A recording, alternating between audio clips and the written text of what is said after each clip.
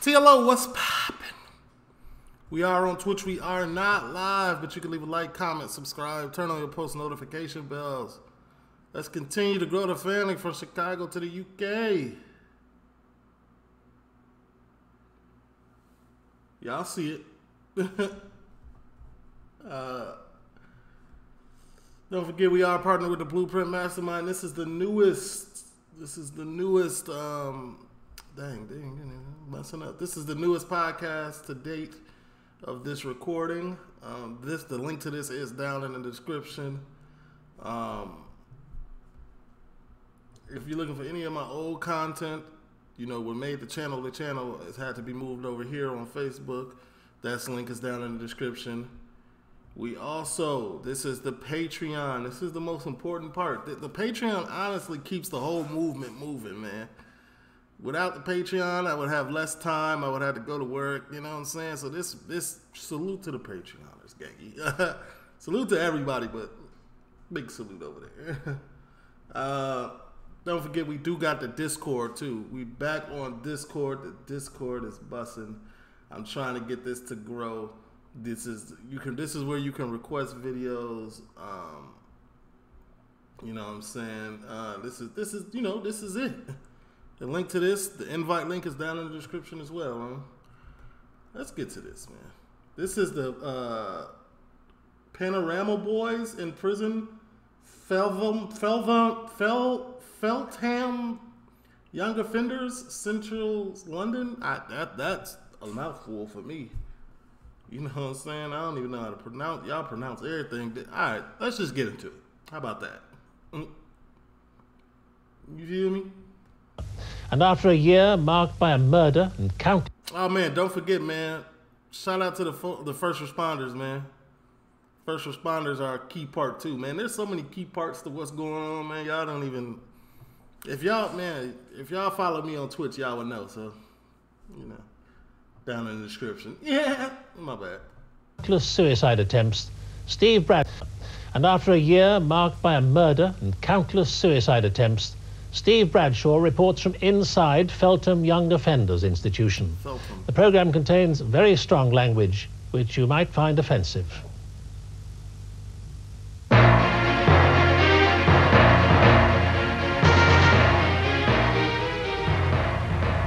They burgle us, they mug us in the streets, they steal from our homes and our cars.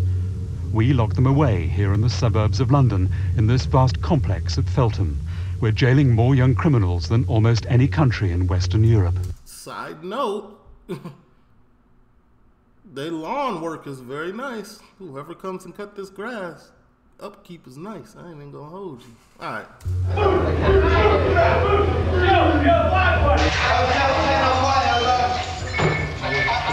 But prisons like Feltham aren't working. Suspensions, investigations, uh, violence, suicides, um, it's uh, an utterly miserable, horrible establishment. Tonight, Panorama tells the extraordinary story of one year behind the bars of Britain's biggest young offenders institution. How did I never see this?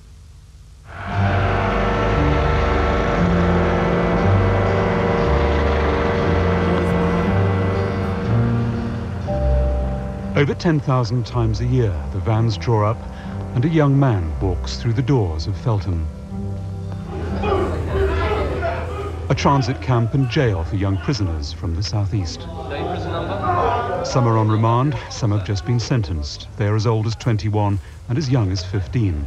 These older prisoners kept separately from juveniles. Date of birth? April 6, 1981. And your prison number? FB 96. Some of these young men are hardened criminals, some just boys who've made a mistake. Some are damaged and vulnerable young men who'll have trouble dealing with this, their first night behind bars, as some former inmates told us. I got put into this little room on the side. You have to wait for your name to be called. When your name gets called, they give you a number, and that's what basically you are, is a number. You have a new prison number this time. Welcome back. Won't be here for long. Talking about some welcome back. and his response was, I won't be here for long. That may be true, man, but the prison life, if, if you're not really looking to change, it's a revolving door. You know, repeat offenders is at its highest in the UK, right? And then that's it. You go get your microwave meal, and you put it into a room on the right, and then you have to wait again, and then you go through strip search, and then you get put into a cell.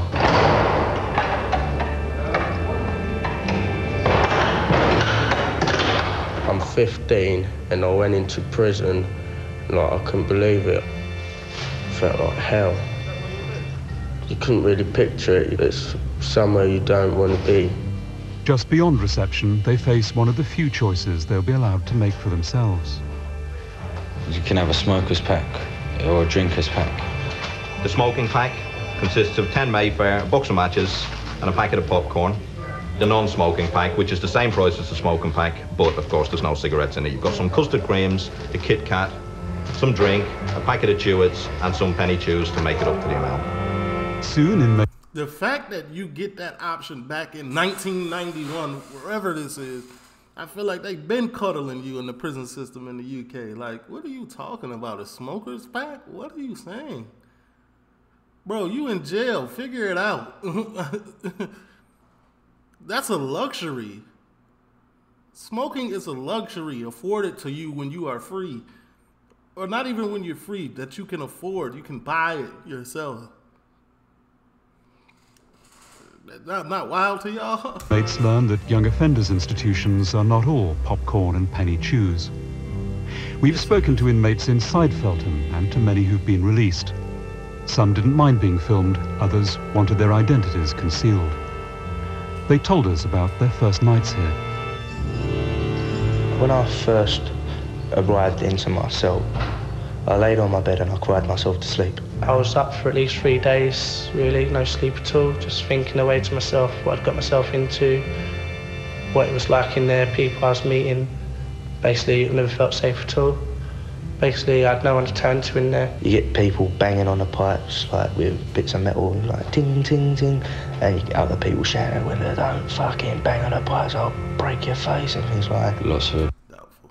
Um, don't forget if y'all haven't, man, check out the, the vlog we just dropped. What was it a vlog? It's me and my baby mama. We sat down and we had a conversation face to face. You know what I'm saying? It's pretty cool. Check it out. It's up here somewhere. It's gonna come across the screen. abuse, lots of cussing to your parents outside, people that you love, trying to make you feel hurt, angry, so you would retaliate. Fights in prison, they always start with suck your mum. If someone says to you, suck your mum, they're basically telling you that they want to fight you.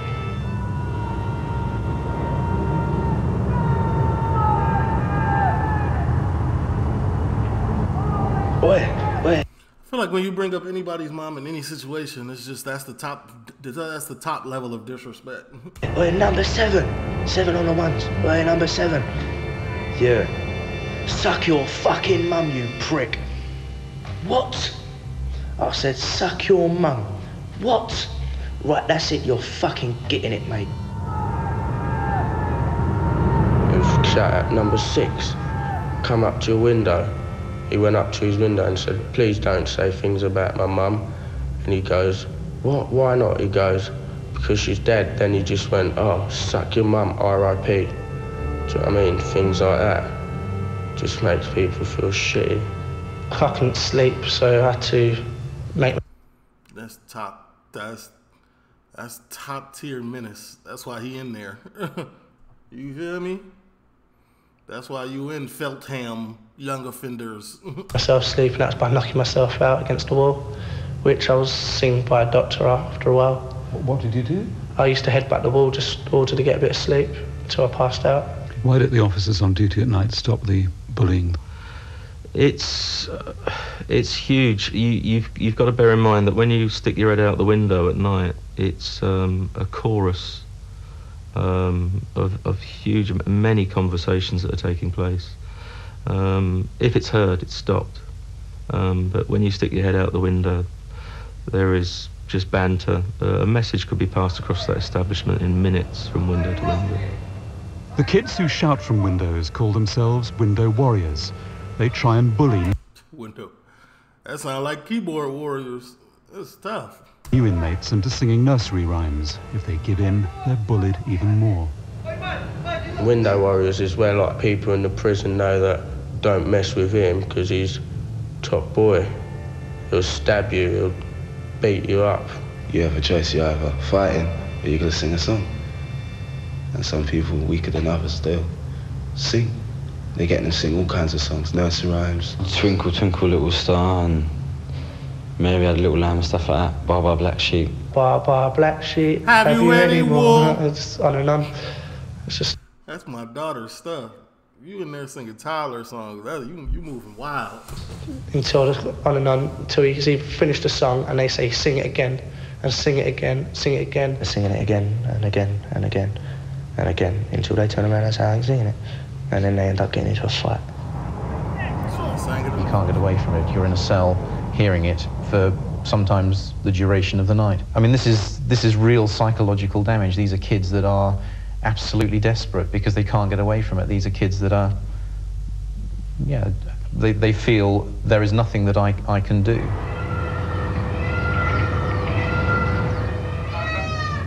Next morning, a bizarre wake-up call. The peacocks introduced when the prison's wings were named after birds in the hope it would help young people cope. By now, new arrivals have entered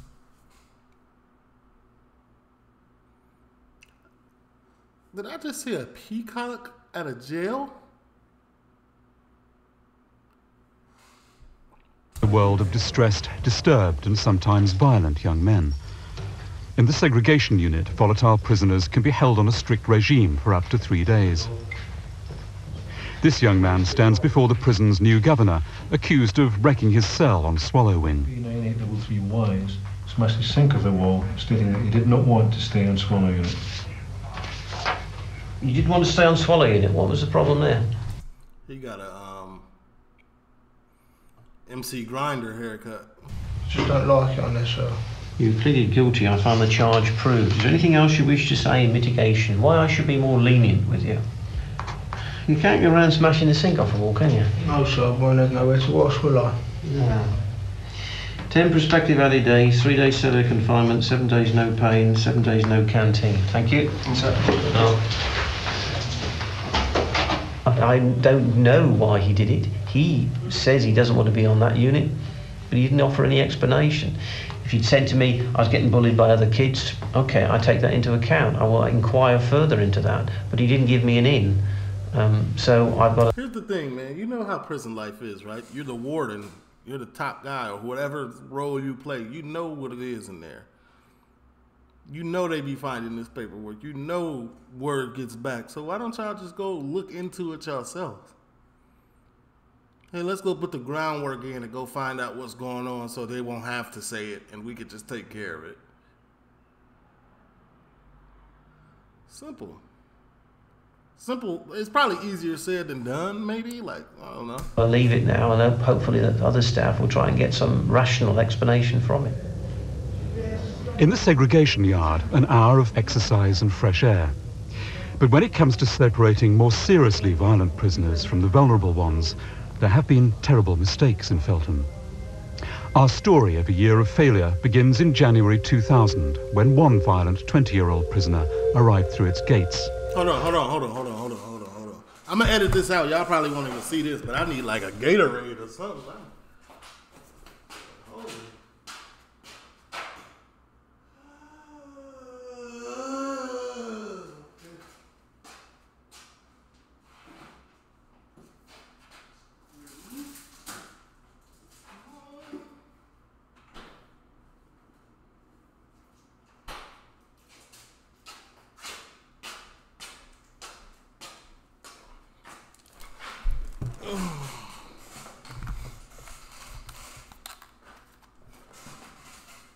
Robert Stewart was a young man with a criminal record and a tattoo on his forehead that read R.I.P.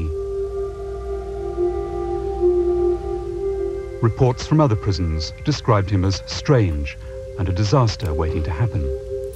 He had tried to flood his cell, That alone. I Been paid special attention to this. in eating metal screws and set fire to himself. He had threatened prisoners with a chair leg and stabbed an inmate below the eye.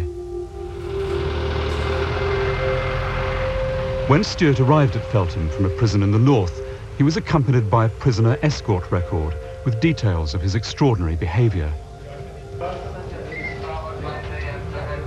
So they had But nobody, it seems, looked through his file, and he wasn't seen by a medical officer. So they had the cheat sheet. They had the information, but just ignored it. Sound like he need to be in the psychiatric ward. You know what I'm saying? From my conversations with him, I don't believe he was seen by a psychiatrist or any medical officer. Um, I don't believe he was asked many questions about his past or. Um, so there was very little screening, as far as I'm aware. Um, I believe that he just arrived, he was placed in a cell, and that's where he remained. How it was missed, there was probably far too many prisoners coming through um, That's not an excuse. for all all the work to be done properly. There were other clues to the disaster in the making. As well as being violent, Stewart was an obsessive letter writer. Since he was on a harassment charge, his letters should, according to prison rules, have been carefully monitored. But Stewart was treated like other prisoners, most of whose letters were not regularly checked. One letter, though, was intercepted by Feltham, and it revealed another disturbing side to Stewart. In this and other letters, he wrote about niggers. There were, he said, a lot of niggers on the wing. But the rest of his letters still weren't checked as they should have been. The intercepted letter was How long do I gotta keep the word on the screen? Simply returned, and a note about it made on Stewart's wing flimsy, a running record of his stay in Feltham. Because that letter was of a racist nature, I believe they should have, at least at that stage, started monitoring his mail um, and done something about that, definitely. Each wing in Feltham also keeps an observation book. The same day the racist letter was intercepted, someone on Stewart's wing wrote, Very dangerous individual, be careful. The very dangerous Stewart was moved to another wing, Swallow. Fellow inmates told us they realised something was wrong with Stewart. He obviously had a problem. It could have been a threat to other people because he, he just looked off key, to be honest with you. He did. He looked like he had some mental problems. How do you mean? Um, well, would you tattoo RIP on your head? I, Your I told y'all. Any tattoo here, and especially the one that he had, It's not really the done thing, is it, really? I, I, I even spoke to him, I addressed him on it. I said, why have you got RIP written on your head? And he said to me, boom, that um, he was he was um he was drunk and some girl did it. To me, he looked that, I don't know, he didn't look all there. Uh, he looked crazy like, with the tattoos and I thought that this guy looks like a bit different. The warnings that Stewart was very dangerous and had written a racist letter should have been passed on to Swallow Wing with him. But if they were, nobody acted on them. On the 8th of February, the violent prisoner who had written a racist written a racist letter should have been passed on to Swallow. what do y'all call this? Canadian suit or like a Canadian, like when the when the when the, a jean jacket outfit. What do y'all call that? Jill was crazy with it on. That's the, he put he put that on though, didn't he? That's tough. Following with him. But if they were, nobody acted on them. On the 8th of February, the violent prisoner who had written a racist letter was put in a cell with a young Asian. They were together six weeks. Prisoners who remembered them said they seemed to get on okay, but should never have shared a cell. They didn't look like the sort of people that I'd pair up together. I think it was lack of um, lack of thinking on the subject. They just tend to just bang you up. They don't they don't think about it. If it weren't a specific setup, yeah, it was just a, it was misconduct. They should have thought about it before they teed up people, basically. Stewart's cellmate was 19-year-old Zahid Mubarak. Zahid lived in East London. He'd been charged with theft and had been sentenced to 90 days. He was a quiet guy. He was on a charge of theft for 90 days, and he was locked up with a hardened criminal with a rap sheet that got transferred from another place who had psychiatric issues that went unchecked, and he was slight racist. Kept himself to himself, really. He was, um, he, wa- he weren't a threat to no one. I couldn't see him getting into any trouble with anyone unless someone specifically troubled him. So that's what I'm saying. Even then, you couldn't even probably feel himself, to be honest with you. Among the prison officers nominated to look after Zahid and Stewart's welfare were their so-called personal officers, a job one prison governor said should be vital. We have established the two young men had the same personal officers, one of them Claire Bigger. It's unclear whether they and other officers on the wing had access to records of Stewart's violent past and racist letters. What's certain is nothing was done about them. Meanwhile, Stewart's letters, which were still not being intercepted, were becoming more violent. We have obtained copies of some of the letters he wrote in his cell, just a few feet away from Zahid, who he called his padmate. On the 23rd of February, Stewart wrote, I'll take extreme measures to get shipped out. Kill me fucking padmate if I have to. Bleach my sheets and pillowcase white and make a Ku Klux Klan outfit. He also sketched a swastika, but once again the letters were not monitored. On March the 20th, the day before his cellmate was due to be released, the tone of Stewart's letters became increasingly deranged. He referred admiringly to them who killed Stephen Lawrence and threatened, Gonna nail bomb Bradford. Eight foreigners and non-whites. On the night he wrote those last letters, Stewart finally snapped. He battered his cellmate with a leg torn from the cell table. At 25 to 4, Stewart pressed the cell alarm. A support officer looked through the flap and saw Zahid bleeding profusely. Stewart did Stewart. The op- It's not officer who had a radio recreation. didn't use it. Instead, he went to telephone for help. When help arrived, Zahid, covered in blood, was still breathing. Stewart, who said his padmate had had an accident, was calm and quiet. He was taken to the segregation cells, where he wrote on the walls, just killed me padmate, R.I.P., other words that couldn't be deciphered.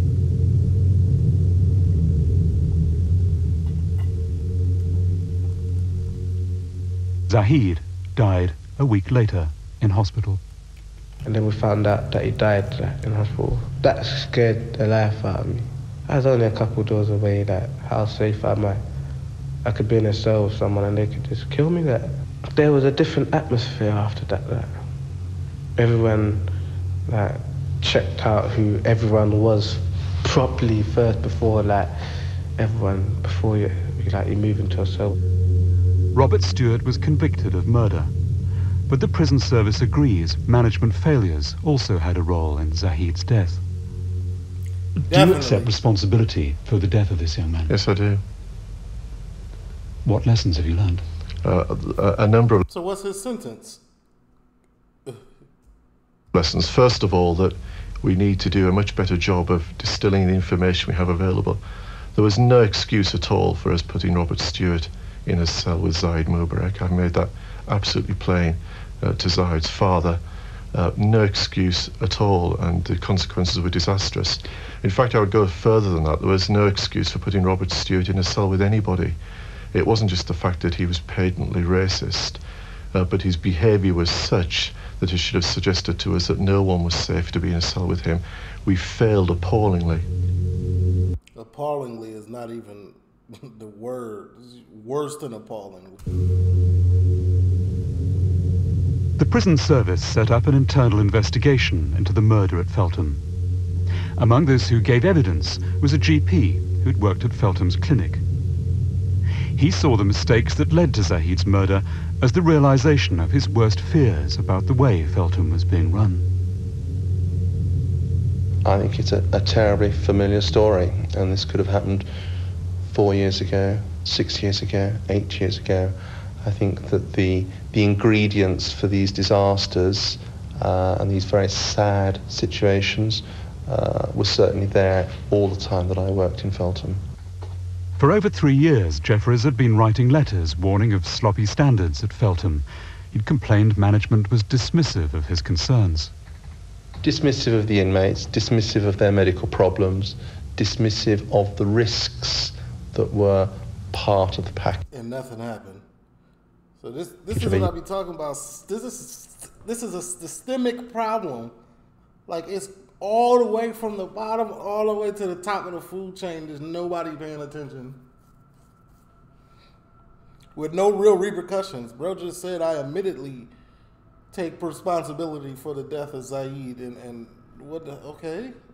Young person being in prison. Dismissive of children's safety, are you saying? To be really clear what you're saying. Well, This is a serious allegation.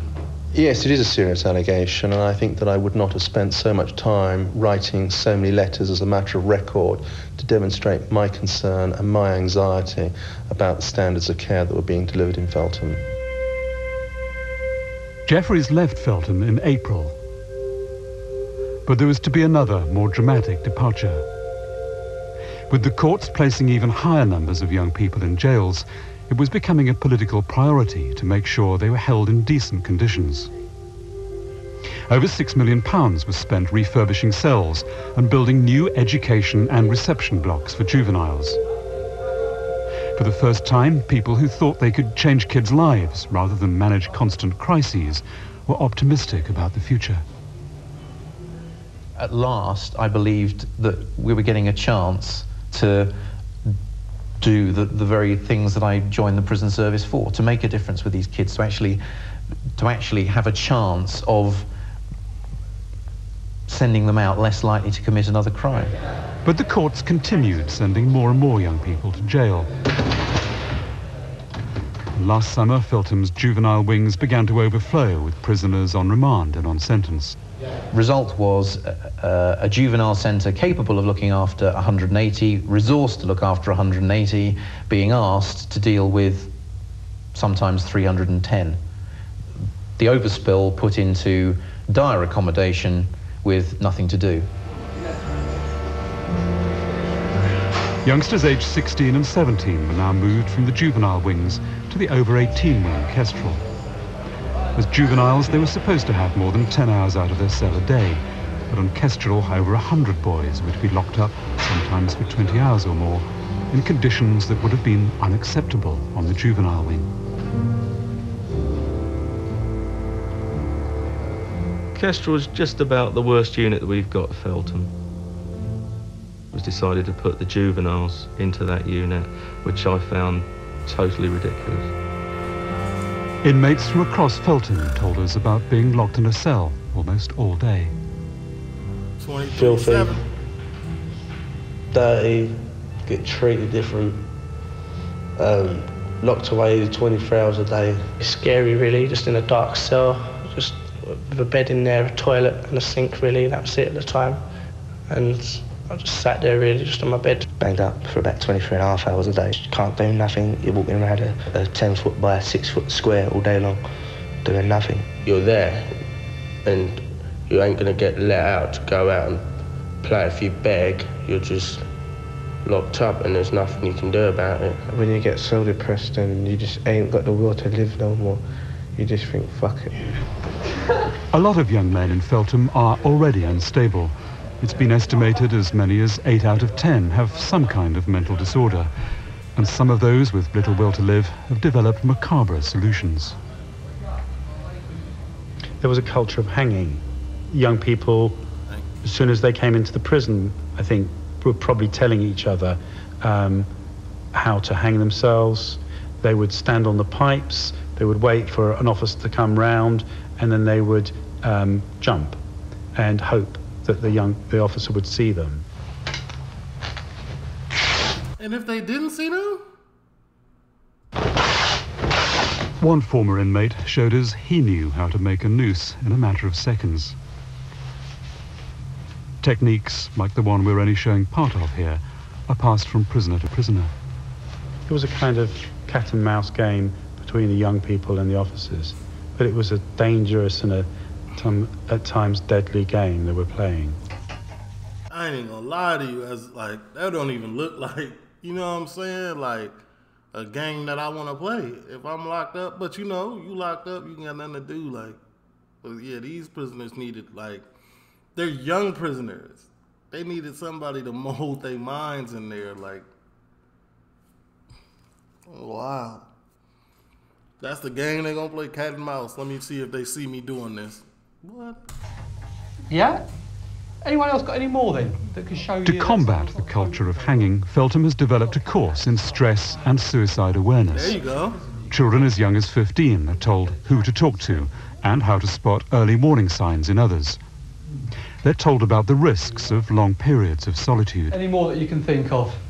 There's a lot of stuff that you can actually do to occupy your minds, isn't there? And if we don't occupy our minds, you know what I mean? Death is the bottom line. There's also a suicide intervention pack on each wing. Right in it, the most important piece of equipment that we've got is a resuscitate. Yeah, if we find them unconscious. Um, there's a pair of scissors to actually cut anybody down and remove ligatures from the neck. The reason they're actually bent as well is so we don't actually cut into them. As well as that, we have a hook, which is almost like a knife. It's used by just pulling it down and actually cutting away at any sheets or blankets. Because we're dealing with blood a lot of the time, we've actually got the rubber gloves and we've got bandages. Have you had to use this yourself? I have. I've had to use it four or five times. As we're in the induction unit, people at the most vulnerable because their first couple of days into custody. You've had to use it on children of what ages? Yeah, between 15 and 18 years of age.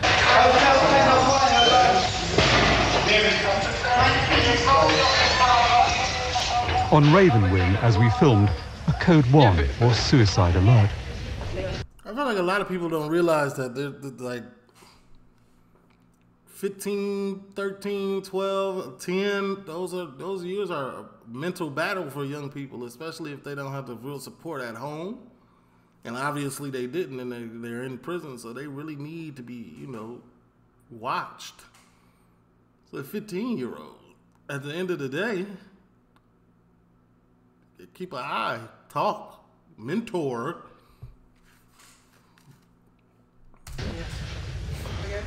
The prison says suicide and self-harm attempts have fallen this year.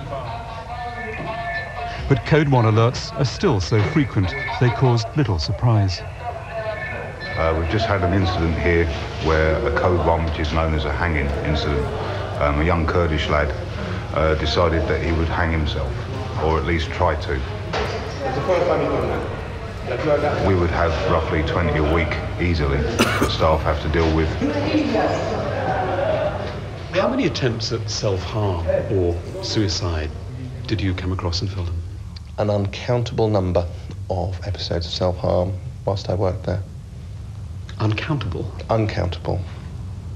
Well, by week? Uh, I think by the day, um, there were phases certainly when I worked in Feltham where we would have 10 or 15 episodes in a day. As the court sent increasing numbers of young people into this difficult environment last summer, managers at Feltham warned their own bosses in the prison service and the Youth Justice Board responsible for allocating juveniles to prisons. But Assistant Governor Ian Thomas says nothing was done to stop the overcrowding. Should you have turned these kids away? Should you perhaps have refused to take so many kids? I'll give you a specific example of when the governor actually said, we are not taking any more, and was told, you will. Told by? I think it was the di- Deputy Director General. Of the prison service? Ian Thomas was already disillusioned. What happened next led to him changing his career.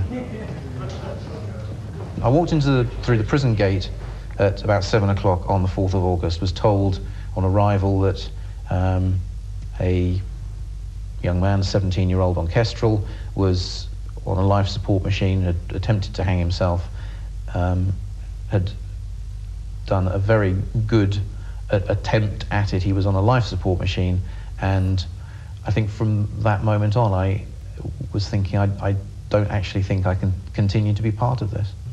The 17-year-old young criminal was John Paul Stewart. He was close to death, but he recovered and was sent back to Feltham, where we found him in his cell, about to finish his sentence. I was dead. I was dead. Uh, the only thing what was keeping me going was a life support machine. About 24 hours later, I woke up in intensive care. Uh, tubes sticking out of me. What did you feel like when you came round? humiliating. The prison had already lost two governors in two years.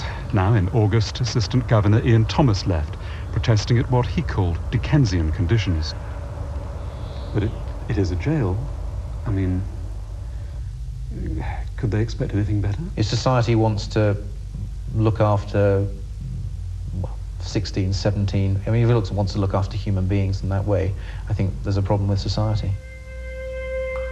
Yeah, like like I be talking like, but it's like certain like condition wise, like mental health wise, education wise, like reform wise, food wise, feeding well. Okay. but like certain luxuries though, it's, it's crazy to me. Like I need to get cigarettes. I'm on like a cigarette pack. Come on now. Xbox, PS5, like that'd be OD. But like, yeah, no, I can see why these governors and assistant governors leave because you know abysmal conditions, man. That's depressing. Coming into work and seeing people struggle, like struggle with mental health, and on top of that, the conditions of the pri- prison are terrible. Like, come on. Four weeks after Ian Thomas resigned, another 17-year-old boy came into Feltham's volatile and dangerous world. And these are kids, by the way. Kevin Henson was no hardened criminal, but a young boy who could have been like any other. He lived in Ruislip, a quiet suburb in West London, only miles from Feltham. Everyone used to say, oh, Kevin, he's so naughty, but my mum absolutely adored Kevin, and Kevin absolutely adored my mum. They was very close. Perhaps even more than most kids, Kevin was desperately close to his mother. But she was diagnosed with cancer, and when they took a last holiday together in Florida, they knew the end was near. His mother died on his 14th birthday, and Kevin never really recovered. His life began to change. He started to drink heavily. See what I'm saying? 13, 14, 15, uh, 12. That's when men, especially men, kids of male descent, are going through a lot of like changes, period. So something like this, catastrophic. Somebody needed to talk to that young man. You feel me? when his mum died, he just went off the rails a bit and got involved with um, lads who were basically a lot older than him because he was 14 and it was on his birthday that she died. He'd wake up in the morning and have a can of lager. I think it was just just to block everything out. He thought his life was so rubbish that if he had a can of lager and had a drink, everything would be all right, and, it wasn't. Didn't drink to be drunk, he drank to oblivion basically. And then it, you just couldn't talk to him anyway then. An alcoholic in his teens, Kevin drifted into shoplifting as he got older. One evening, he got involved in a drunken brawl in Ruislip High Street. He pulled a knife and slashed someone. He claimed it was self-defense. He was charged with malicious wounding, but would never stand trial. On the 28th of August, Kevin, the ordinary boy, his life had gone horribly wrong, arrived in Feltham to join the hundreds of other young men on remand. He wrote to his father about Feltham and alcohol. Kevin spoke to me and wrote in his letters about Feltham saying that he, it was the worst place in the world and he felt he should be getting some help rather than punishment. Kevin doesn't appear to have been getting the help he needed with his alcohol addiction. And his depression was made worse by the prison's often complicated rules. His family couldn't work out how to get him a change of clothes, cash, or tobacco. His sister did manage to visit him on the juveniles wing, but she found it a distressing experience. It was horrible. There's all other boys sitting around with their families and walking out as I'm sitting there with Kevin crying. There's like 16 year old boys sitting there crying.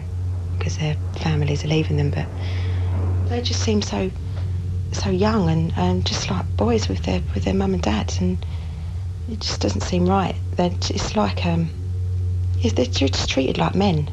I think I cried when I come out of there, and it wasn't it wasn't nice at all. It was to be the last time Kevin talked to his family. Next day, he went to court for a hearing, desperate for bail so he could visit his mum's grave. He was already asked, got his mum's birthday coming up, another one, another anniversary to go up to the, the grave um, to lay some flowers because he just went up there regularly. His fathers saw him in tears in court, but couldn't speak to him. And he just shook his head a bit and uh, he got refused bail and uh, went down to the cells basically. He didn't get a chance to say what he wanted to say, which was, I, I realise that I need help and I really don't think Feltham was the right place for me and, and I'll agree to any help that's offered to me. But he wasn't given a chance to say anything like that. Apparently he was... So Feltham was just misclassifying people or the court was just misclassifying. No, Feltham was. Like, like, was there any social? Was there any mention of? Yeah, there was, right? Like just misclassifying people, not even paying attention to their mental and like needs. Like these are, oh man, it's another case of blatant prison, blatant prisons not paying attention to, to their prisoners and whatnot misclassifying people, being in the wrong places instead of psychiatric ward, being in a prison. That's another number, not getting no help. Um, and what can make it worse is kids. Told or taunted by someone on the way back to the prison that uh, he was going to end up doing two to three years in prison. Inevitably, kids are often distressed coming back from court, but Kevin couldn't talk to his family.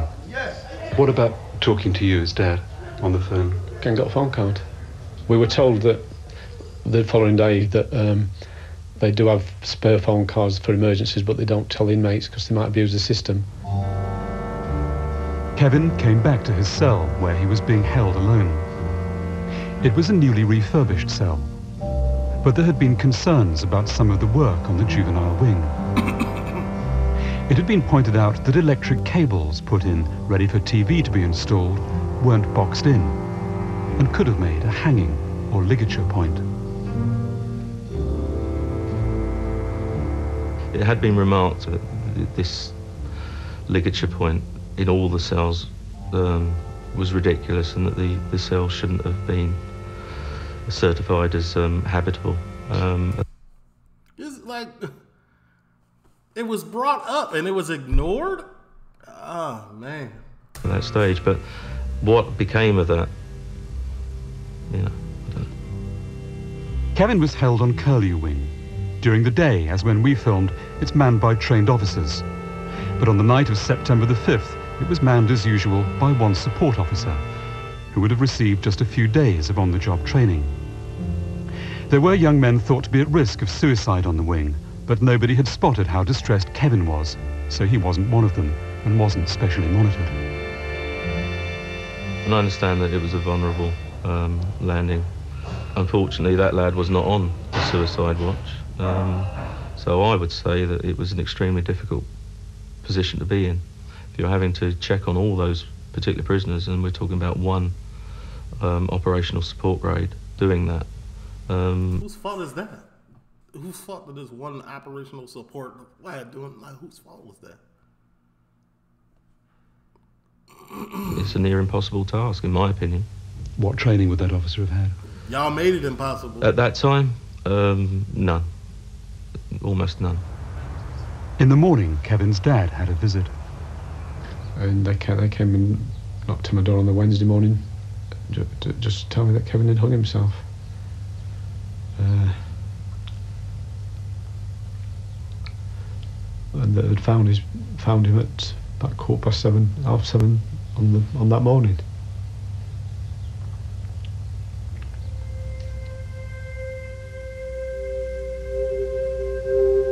No sound from Kevin's cell had disturbed the support officer as she made her rounds. Kevin had last been seen alive soon after eight, Sometime during the night, he had hanged himself from the electric piping. He was found by a prison All right, I don't know what's going on. officer next morning. It's getting real crucial in these reenactments. Rigor mortis had set in, and Kevin could have been hanging there for most of the night. Rigor mortis set in? Dang. He did that at the beginning of the night, didn't he?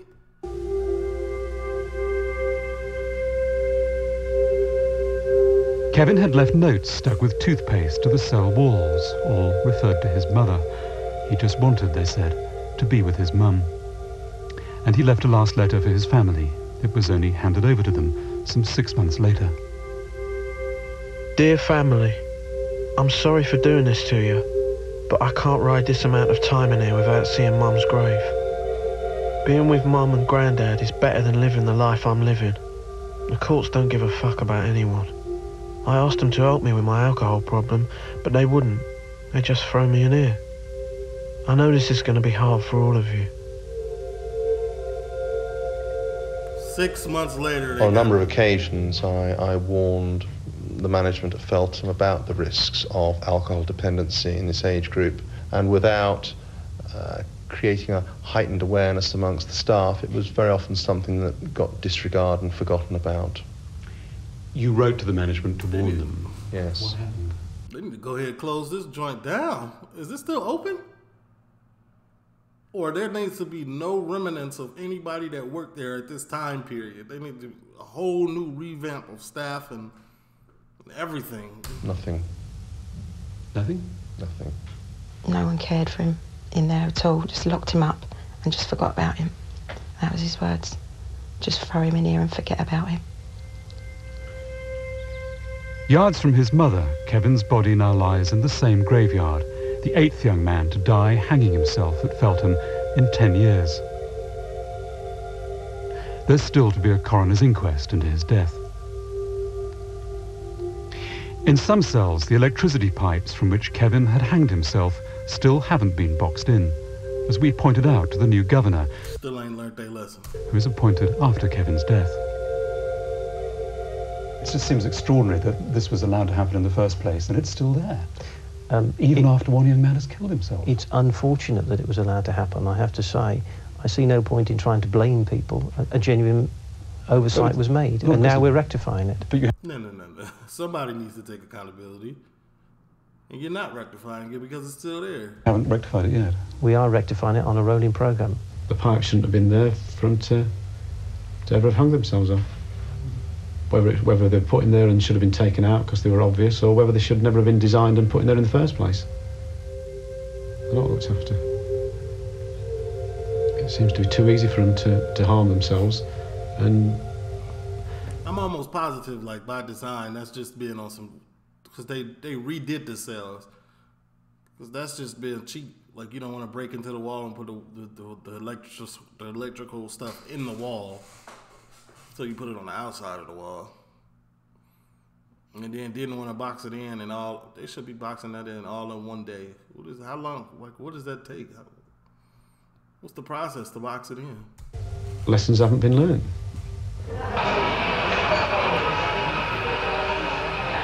And today there are still many young men in Feltham who want to harm themselves. The most troubling cases come here to the healthcare centre, in reality mainly a mental health ward with psychiatric care and special nurses. Some are so disturbed they should be in NHS psychiatric beds, and some say Feltham's just made them worse. I'm missing my mum a lot. Like I was with my mum every day from like since I was born. I, I hardly ever without her, and like being put in prison just cut me off from all that. I tried, I tried to hang myself in it. I was so stressed out and that. And, like the voice in my head was telling me just to do mad things like hang yourself, just die, you're better off. And I think I, I genuinely want to die. I've had enough. I, this prison, it, you know, when I was on the street, yeah, I was like ill, ill. Yeah, but when I've come to prison, it's made my illness ten times worse. It's also a difficult place for staff. Last month, when we were in the prison, there were repeated outbreaks of violence in the healthcare centre, which we weren't allowed to film. I feel like all staff members members need to be trained well. overly trained. You know what I'm saying? GameStop and and and as the employees coming to work at prisons is needs to be a thing of the past. Even with training, I don't want no. If your resume got in the last ten years that you worked at Aldi's, you're not getting a job. no. Today, Feltham is Something that qualifies you to be here needs to be on your resume. struggling to cope not only with the aftermath of suicide, but of murder. Seven months after the killing of Zahid Mubarak by Robert Stewart, the prison service concluded its internal report. We have obtained a copy. It is a damning indictment of institutional failure. Okay, Yet it makes no mention of any individual officers responsible for letting Zahid share a Mm. cell with the dangerous Robert Stewart. We've also been told at least one of the two personal officers, Claire Bigger, was not interviewed. The prison service told us she did not wish to talk to us. Of course not. My understanding is that personal officer has uh, gone to another establishment. It ain't even Bigger's fault. You know what I'm saying? The prison let you down. They set you up for failure. So I wouldn't even feel bad if I was her. They set you up for failure. Demoted, promoted? No, I think uh, she's been promoted. The personal officer scheme was not working in other than a nominal sense. Now, that's not any The name- individual's the name fault. was on the door. Uh, but she wasn't being expected to uh, to take a particular role with these two young men, and we should have a personal officer scheme there, and we didn't. Uh, but I don't think you can criticise her for the failure to uh, see that this death was going to happen. Yeah, I don't- it's not her fault. And I refuse to say it is. Or believe it is. The prison failed her as a, as an employer. Wasn't trained, shouldn't have been there in the first place. Y'all missed that he was going through it. Like, no, it's not. No, we're not gonna scapegoat Bigger. When we visited Swallow, things seemed back to normal. When we visited Swallow, who is he? Professional ping pong player. You see the serve? To uh, see that this death was going to happen. when we visited Swallow, things Yeah. seemed back Get real in there. to normal. Backhand. But prisoners told us cells slam. were much the same as when Zahid Mubarak died. Tables, just like the one from which Stewart had torn his murder weapon, were still there. There's nothing at all that has changed about it. Nothing at all. The tables are still here. Like he got battered to death in his sleep. It's So hold on, what about these tables? Did they not have regular checks? Like they didn't they didn't see that a tear was broken and a and, and, a, and a leg was missing, and didn't put the prison on lockdown to go find it? Contraband search? Like what happened with that? it's, it's still an option for someone who's in there again. If they didn't like their cellmate, they could do the same thing again. Have they been screwed down? No, they ain't been screwed down. Like, as you can see, they're not screwed down. It's, it's visual. It's not screwed down. You understand what I'm saying? If we bolt the tables down, somebody else will find something else to use as a weapon. I think That's a terrible excuse. If we bolt the tables down, somebody will find something else. So we just let them use the tables instead of being, you know what I'm saying? Yes, prisoners are very, they're very resourceful. Yes, they are. His, his statement is true. but the fact that you don't want to stop anything that could possibly, he needs to get out. Get out. I, he, this is a long time ago, but I hope he's gone. I think you've actually got to accept that there will be some risks. Those risks have to be managed. But you're not managing them. Those risks have to be managed, but you're not managing them. If you were managing them, bolt the table down. But I think the logical conclusion of that argument is that we just take everything out the cell. Whatever these It's not a lot. unresolved problems, Feltham says it now has better checks on prisoners' records. But for records to be read, there must be a record to hand when prisoners arrive from court. And we discovered sometimes even this basic information is still not available. You're saying that inmates are still coming in here and you don't know what their crimes are? Yes. And it could be anything. Could be murder. I witnessed a warrant come in uh, a few weeks ago where it, the, all that was written on the warrant was he was convicted of crime. Uh, whose fault is this? And what did you do about it? I Whose think responsibility is I think there are a number of agencies involved in that, and, and we're on the end of the chain. Doesn't that mean that the case of Robert Stewart and Zahid Mubarak could happen again? There is always a risk um, in that something like that will happen again. Um, the tragedy which took place. Um, I feel like there's no accountability on this guy's end.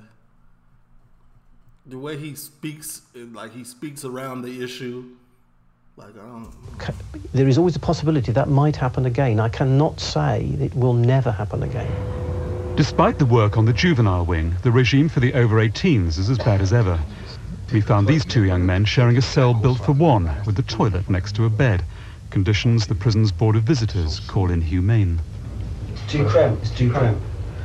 Man ain't got no personal space. Many people want to sh- share a cell. Um, But I mean, this was designed for one. yes, it was, and it's not. It's not ideal. Um, and Man ain't got. See what I'm talking about? Our bro just came in. Many people want to share a cell. Like what? No personal space. many people want to sh- share a cell. Um, But I mean, this was designed for one. yes, it was, and it's, it's not. It's not ideal. Um, right. And I accept that. Although an extra half million pounds a year has been found for Feltham, there can be no assurance the courts won't flood it with young prisoners again. I can't give any guarantees about the population in the future. But as a matter of fact, I'm reasonably convinced that the investment I have from the government will allow me to keep pace with any rise in the population for the next few years. And I am entirely confident, particularly now the refurbishment is being completed at Feltham, that it will not see a return to the overcrowding that we had last year. Last month, John Paul Stewart, now recovered from his brush with death, prepared to leave Feltham for the world outside. He was uncertain whether he'd be back. Do you think you will come back? Do you think you'll stay out? I'm gonna I'm gonna try my hardest to stay out, but what happens happens, isn't it? Nationally, more than seven out of ten young offenders are reconvicted. In Feltham, it's almost certainly more. John Paul's already trying to run off with his prison jacket. What's that? Gone away prison, isn't it? Some say tough prisons for tough kids do work, or at least keep them off the streets. Confiscated that. But the record at Britain's biggest young offenders Going away prison. Well, I don't want that. institution suggests too many inmates are harming themselves, each other, and the rest of us. Does the society wish us to simply put them behind a fence, lock them up, do nothing with them, and then throw them out the gate six months later saying, we've, you know, back, back into society you go? All that will achieve is more victims, more crime. We're trying to reduce reoffending, and yet we've got a reoffending rate of 90%. It doesn't work. Too many young criminals leave Feltham knowing it isn't working. On my area, most people that have been to prison, the people who commit a crime, they've been to Feltham and they've learned from Feltham how to do the crime they're now committing. Like they say, it's there to teach you a lesson, but it doesn't really teach you a lesson. It just sends you mad up in your heads, really. Uh-huh. yeah, it's that mad. There's no such thing as re- rehabilitation at all. The government are confused. They don't know what to do with these, juve- these juveniles and these young offenders. Yeah, they just end up just throwing them behind bars and trying to forget about them. That's their way of forgetting about them. Lock them up. But it ain't solving the problem at all. The kids themselves and insiders who've worked there say that Feltham simply isn't working. The kids go back on the streets, maybe even more damaged than they were before, and do it all again. Mm. Uh, uh, certainly that can happen. We're dealing with very, very difficult young men, generally who courts have sent into custody as a last resort. They've abused alcohol or abusing drugs. And yes, many of them will return to the streets and we know will go back to reoffending. And Feltham has been historically difficult, but there are signs of a real change.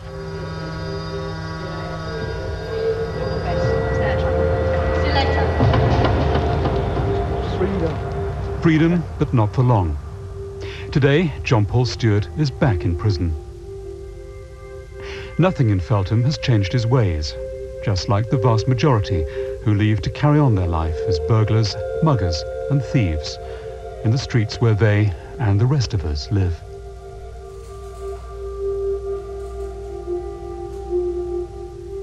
This is a L prison. I don't. I don't know if it's still open. I hope it's not. or it's just completely new staff everywhere.